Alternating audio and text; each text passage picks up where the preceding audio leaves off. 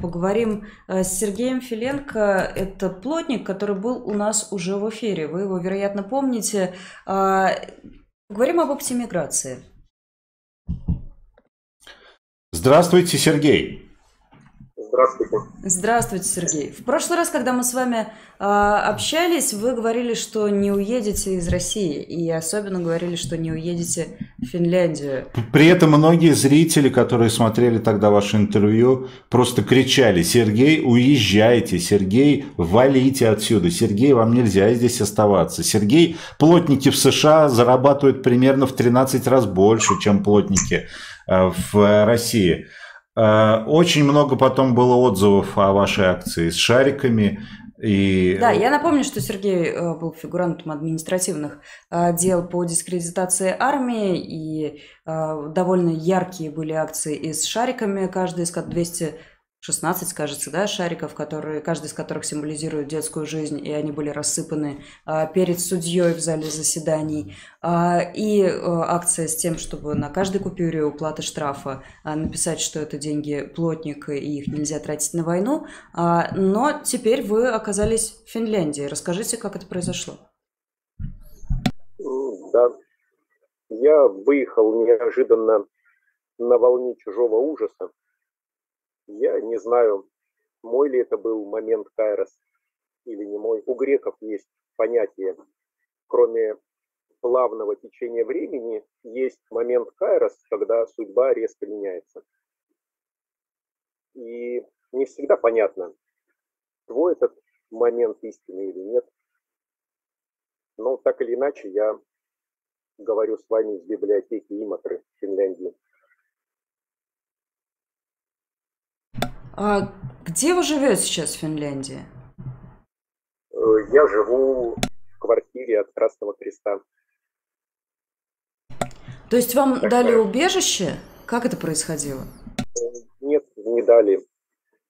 Сейчас как раз такой момент, когда непонятно, э, будучи деревом на родной, в родной стране, мои корни уже перегорели, я упал в реку и меня вынесло в море, но к чужому берегу я еще не приблизился. Это займет месяцы, пока Мигри рассмотрит документы, потом или статус убежища не предоставят, или дадут, и в зависимости от этого буду я как-то так или иначе действовать дальше. Что стало вот тем спусковым крючком, когда вы решили, о, вот все, я прям захожу на сайт и покупаю билеты? А, ну, человек, он даже, будучи в Финляндии, который стал спусковым крючком, э, говорит не Путин, а один человек. И он был бы в ужасе, если бы я сказал как мы с ним поехали. Вот. Но еще меньше, чем за сутки до того, как я ехал из страны, я поговорил с друзьями, сказал, что нет, я остаюсь. Это не мой путь. Но, как иногда бывает, на следующее утро я уже ехал в сторону границы. Вот такие дела. Без семьи, Сергей? Да, пока без семьи. Планирует она к вам присоединиться, семья? Это зависит от меня и от Ингрид. Насколько я своими действиями смогу где-то остановиться, начать зарабатывать деньги, чтобы перетащить семью. Непонятно ничего. Сейчас, пока я вырвался из всего и практически умер. Я как раз сейчас хотел вот об этом подробнее поговорить, о вашем э, ощущении себя и ощущении мира вокруг после того, как вы оказались э, в Финляндии. Что вы чувствуете? Почувствовали ли вы большую свободу или наоборот скучаете по дому? Как вы ощущаете себя вот в этом новом пространстве? Непонятно. Сейчас такой момент, что картина мира прежняя рассыпалась, и у меня нет даже русских слов, чтобы описать в своей голове реальность. Я подозреваю, что э, с популяционной точки зрения судьба одного человека не имеет никакого значения. Я там думаю, как приносить пользу, что извлечь, какое слово или дело из того, где я оказался, чтобы стать или примером для кого-то, или уроком другим наука. Как-то непонятно. А, да, здесь безопасно, спокойно, хорошо. Я научился смотреть в глаза людям, которые встречаются на улице, улыбаться. И вот это хорошо. Ну и это страна, которую я уважаю, но не мы построили эту страну. Мы создали жуткую гуманитарную катастрофу. Мы как немцы при Гитлере. И вот со всем этим я совестливый немец, сбежавший из гитлеровской Германии в 43-м.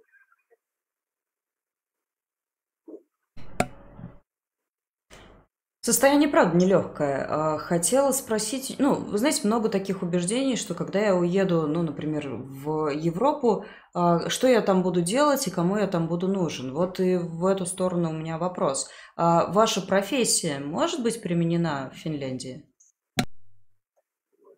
Не знаю, возможно. Пока непонятно. Нужен язык, чтобы работать, как ни странно, потому что среди рабочих специальностей финский язык нужен существенно больше, чем среди программистов и культурных людей, потому что все они могут по-английски разговаривать. Технически-то я, да, могу строить из бревен по здешним технологиям, сауны, а не бани, дома, такие же, как дома. Но это не важно. Важно, что как мы до всего этого докатились, и как вот эта катастрофа, вызванная моей страной, отражается на всем, на всем. И, в общем-то, несущественно, наверное, что и где. Главное, чтобы какая-то пользы или военного вреда не было. А, когда вы думаете о том, э, возможно ли вернуться обратно, что должно произойти для того, чтобы вы вернулись в Россию?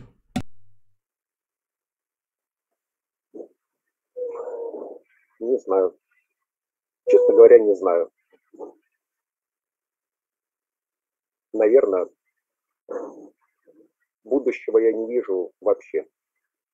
Я, будучи атеистом, даже зашел в пару церквей чтобы на всякий случай сказать спасибо, если, если вот это были промыслы Божьи.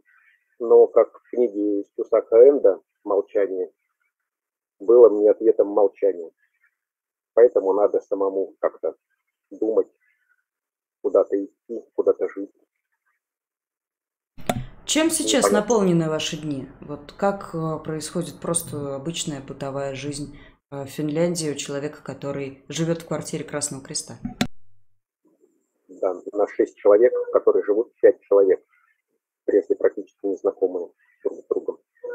Иногда, как волонтер, я помогаю заносить кровати в такие же квартиры-убежища в маленьком городке. Это десятки квартир и вот в этой маленькой капле видна, виден масштаб вот этой гуманитарной катастрофы, которой, которую вызвало наше государство, и которую такие, как я, никак не смогли остановить. Учу финский язык. И моя память похожа на трубу без дна, в которую я засыпаю слова и фразы, потом совком пола, сгребаю это все обратно и на следующий день опять засыпаю, только добавляя новое.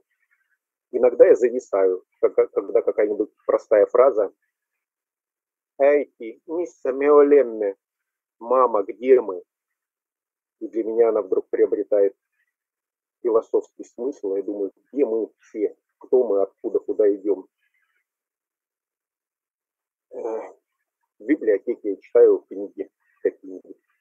Прочитал Карла Ясперса «Вопрос или нет», потому что немцы же как-то разобрались со всем этим кошмаром, который с ними случился. Ну, вот, в библиотеку записался. Можно с 7 утра заходить, почитать мой билет. Но пласт литературы и языка страны, которая отбилась зимой 39-40 года от моей страны, которая напала на нее, в которую я приехал, потому что моя страна напала теперь на другую страну, в которой, в принципе, я родился, когда это было все одной страной. И вот эти все соображения, они взрывают мозги. Но внешне я нормально, спокойно. Спрашивают в чате, что написано у Сергея на футболке. Там написано «Сила страны не в танках и ракетах, а в ее людях». И это цитата Юрия Дмитриева. Да, спасибо. тоже не смогли защитить от тюрьмы, хотя много-много хороших людей пытались как-то помочь, ходили в суды. Не знаю, у меня ощущение, что да, моя страна выгорает, и и мы-то все выгораем. Что хорошего можно сказать.